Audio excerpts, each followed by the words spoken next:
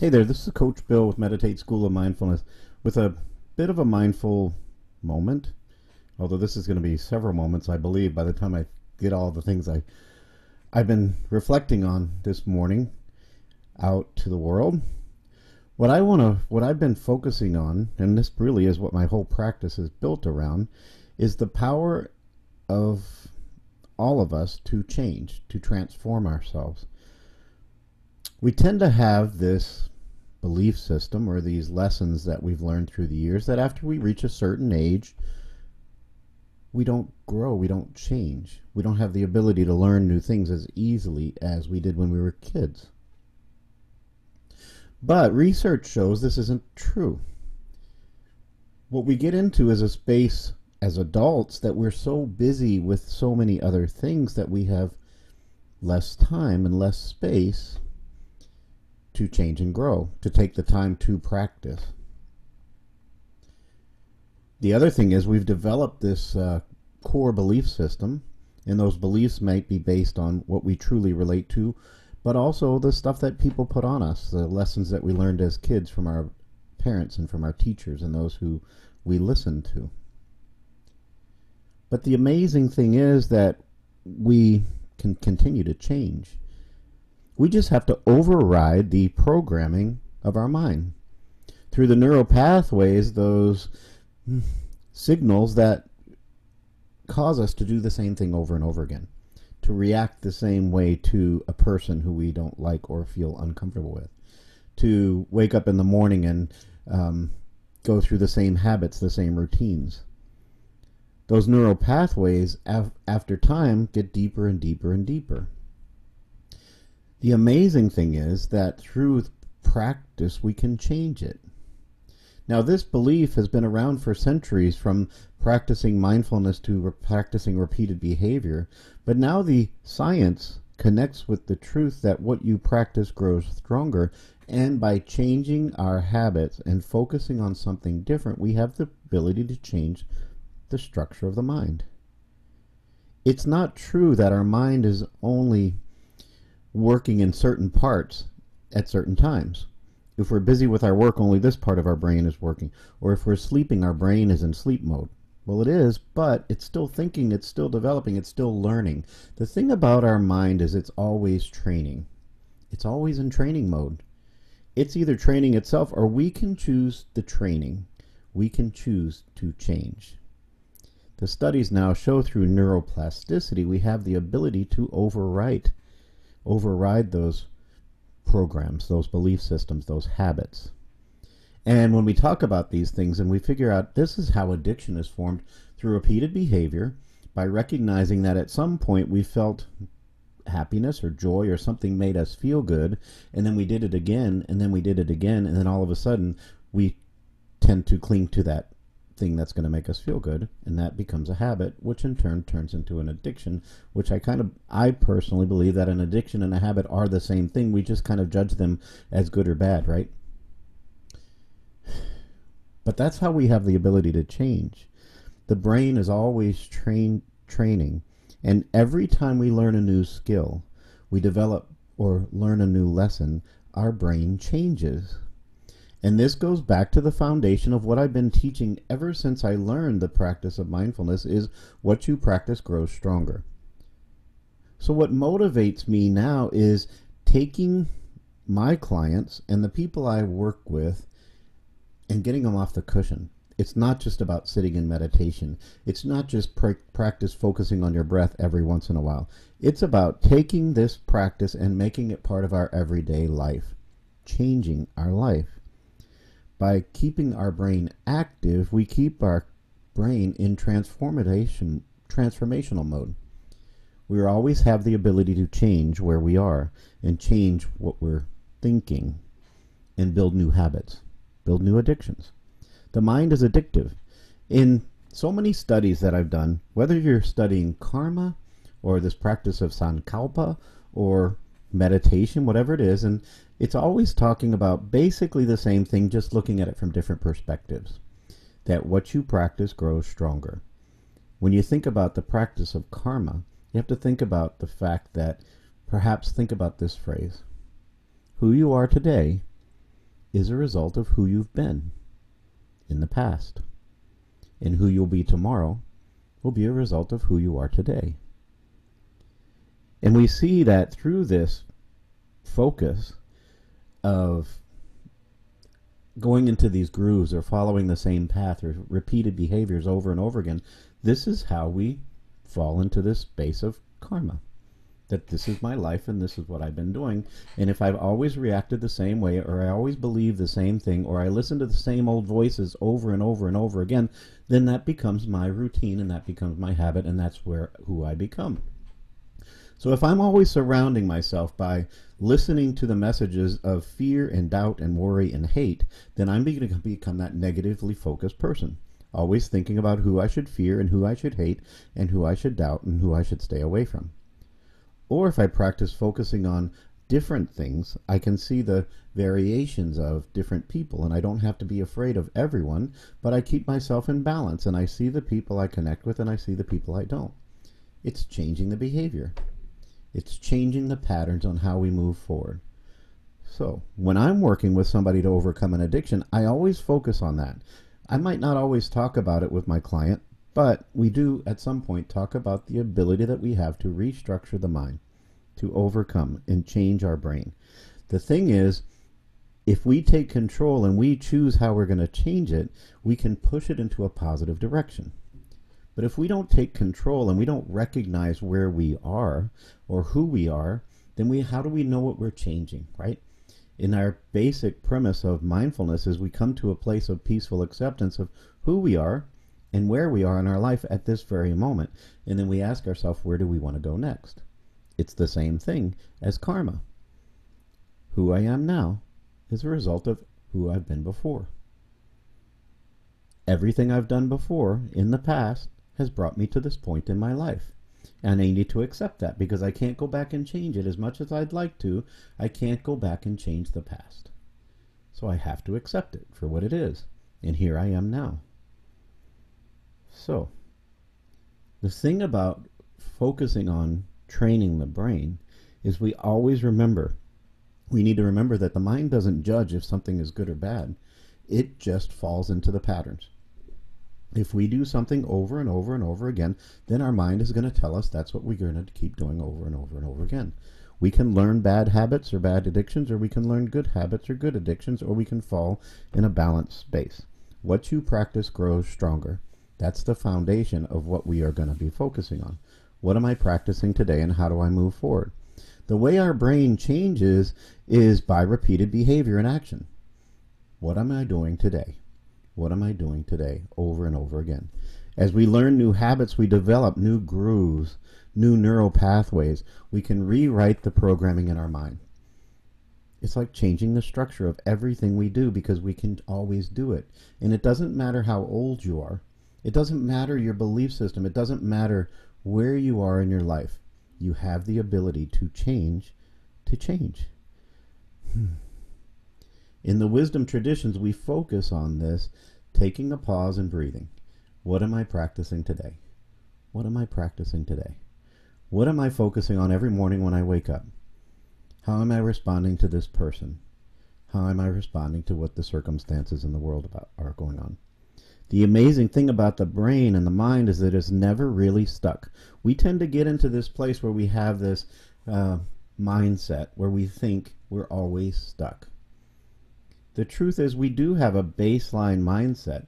We either have, we're born with a positive, I mean, not born with, but we develop a positive outcome outlook or we develop a negative outlook. But the thing is, we can always change that. We're not always stuck in that same old, same old pattern. One of the ways I always focus on working with clients, and this is why I love what I do, is I focus on the individual. I recognize that just as we all have different fingerprints, we all look differently. Our minds are different. If our minds wouldn't different be different, then everybody who took a class together would learn the same thing at the same pace, right? Every kid who sat in a math class would be just as smart as the the kid that's aligned with math. Or every kid could learn music or a foreign language easily. But the truth is I see it as our mind is connected to the passions of our heart and if we align those two things then we learn what's right for us. I might not be a great math student, and I'm not, where somebody else is. I might not be able to learn a foreign language as easily as someone else. But there are things that I align with and that are my passions, and when I can connect to those things, then everything falls into place, and I'm a learner when it comes to those things. So we all have these different minds.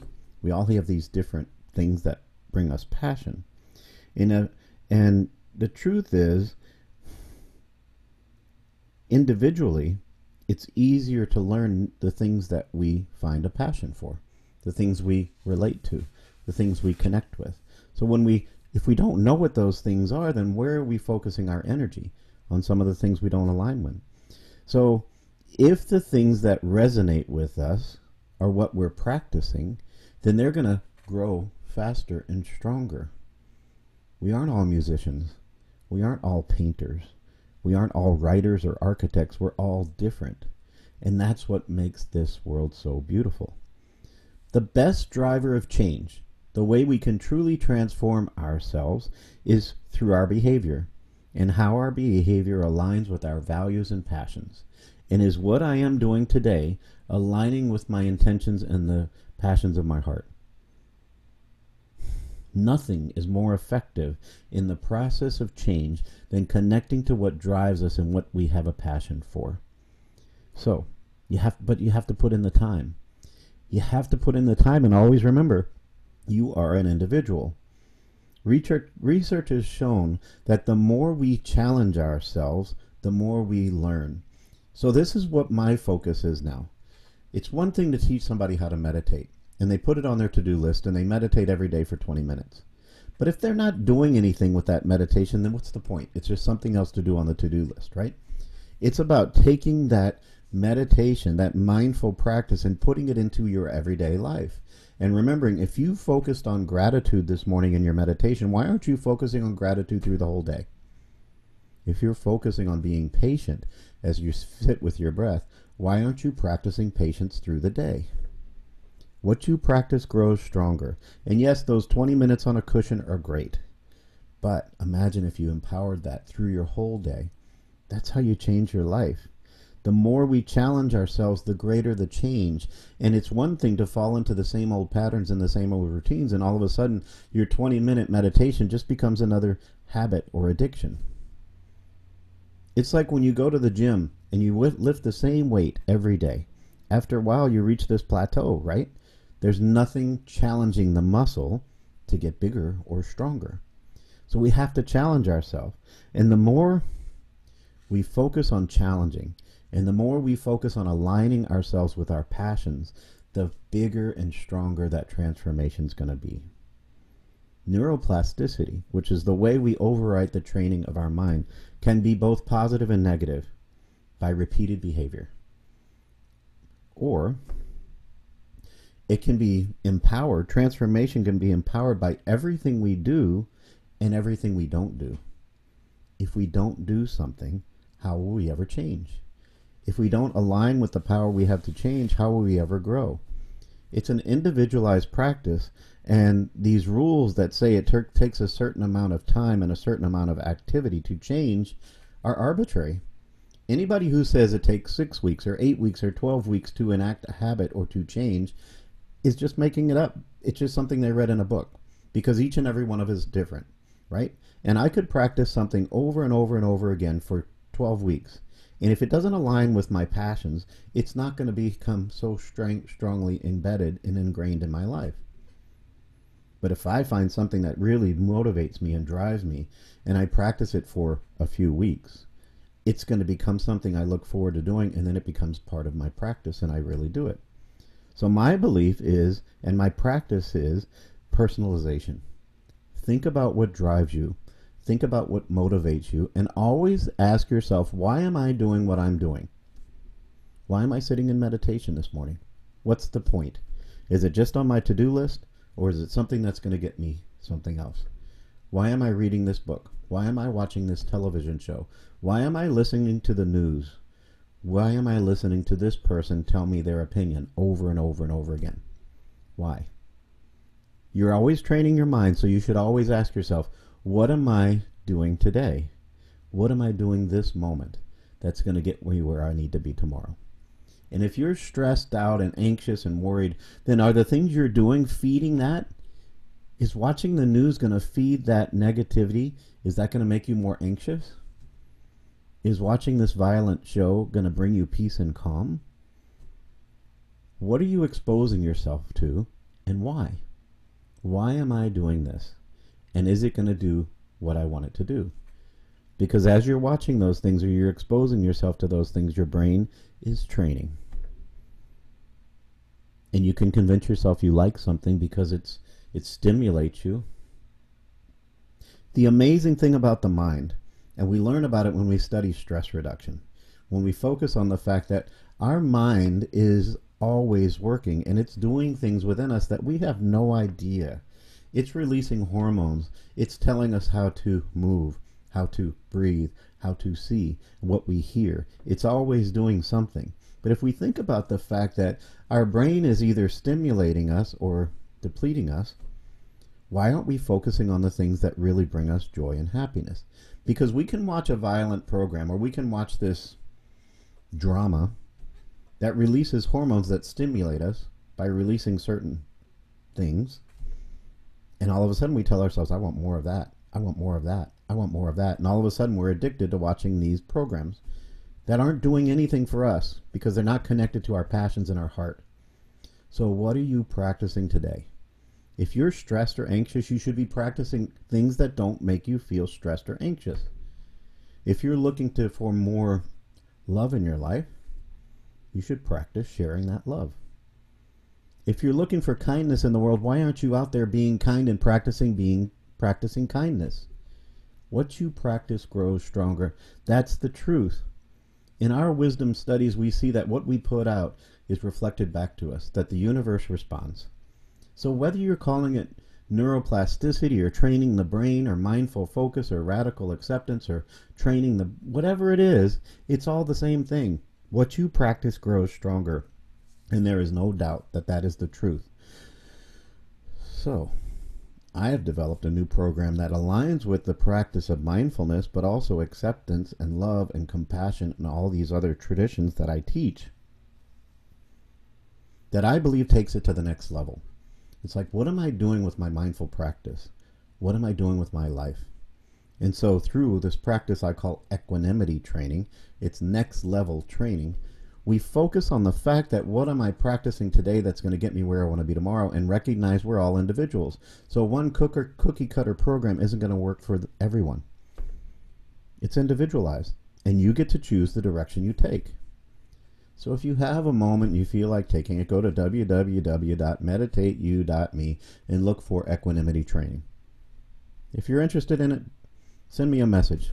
We'll have a consultation. I'll tell you how it could change your life. If it's something you want to study on your own, search the internet. There's plenty of stuff out there. But what I say, what I say, is think about what you're doing. Think about why you're doing it and ask yourself, is this what I really want to be doing? What am I doing today that's going to get me where I want to be tomorrow? So, this Coach Bill, take this for what it's worth, and I hope you have a great day. Sorry about the. It's a beautiful day outside, so I opened all the windows, but it's making me kind of glary. That's okay. It's my voice that matters. It's the message that I'm sending. So, have a great day. I'll see you.